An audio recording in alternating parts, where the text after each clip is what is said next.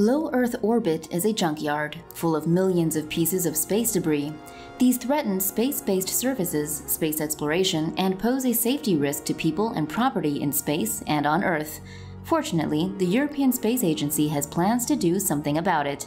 In the latest development, the UK government on Tuesday, November 17th, announced that a British firm will help build the ClearSpace 1 satellite. Planned for 2025, ClearSpace 1 is the first mission aimed at capturing space debris from Earth's orbit. According to OECD estimates, there are currently more than 160 million pieces of space debris in orbit, most of which are space junk.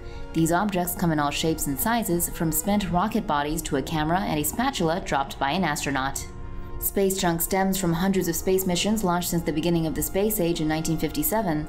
According to NASA, the debris travels at speeds of up to 18,000 miles per hour, almost seven times faster than a bullet. This means even the tiniest piece of debris could spell disaster were it to hit the International Space Station. Swiss startup ClearSpace was chosen by the ESA to lead the mission. Elecnor Deimos in the UK will design ClearSpace One's attitude and orbit control system, which will orientate and position the satellite to help grab space debris.